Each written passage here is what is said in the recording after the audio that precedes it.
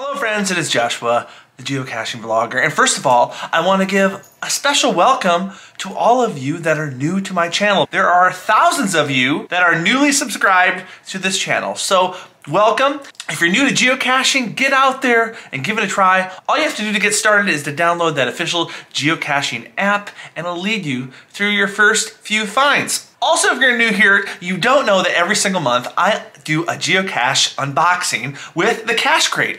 If you don't know what the Cache Crate is, it is a monthly subscription box. Lisa from Spokane, Washington packs up geocaching goodies, stuff that geocachers love, and puts them in a box, and I get to open them as a little surprise every single month. And let's be honest, this is the month of January, and I'm just itching to get outside. It's very cold outside. I was lucky to go to Florida last week, but it is cold. So the Cache Crate kind of pushes me through to get to those prime geocaching months. So without further ado, this is the December Cache Crate. Let's get started. I am also a subscriber to the Geocaching Tees, which is a geocaching t-shirt subscription service, and I get a geocaching shirt every month. And this month they packed them together. So first let's look at the shirt.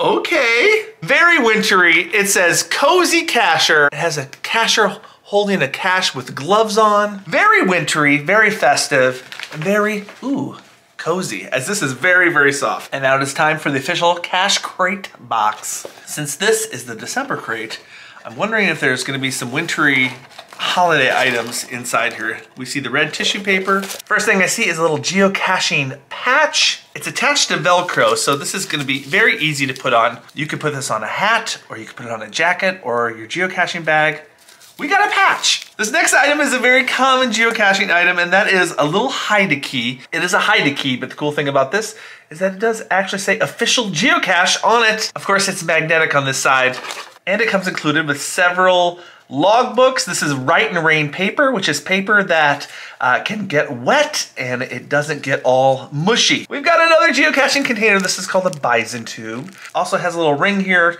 to hook it to a tree or wherever you want to hide it. We have an Adventure Lab sticker. I often put these on my geocaching luggage. We have a candy cane that is sadly um, not in a candy cane shape any longer. Interesting. This is something I've never seen before in the cache crate. There's a strap pack, clips, this clips to the front of your pack, secures from theft, accessible. It looks like it can be used as an extra pocket or it can be used for a water bottle or a smartphone, or maybe a GPSR receiver. And it looks like it can be easily strapped on a bag or your jacket.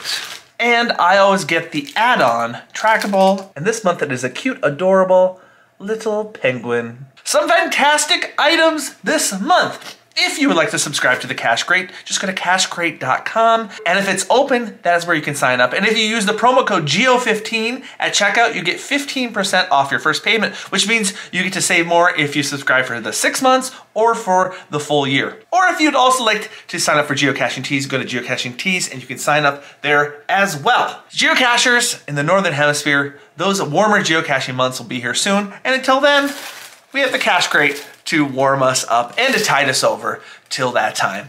All right, guys, thanks for watching, and I'll see you on the next video.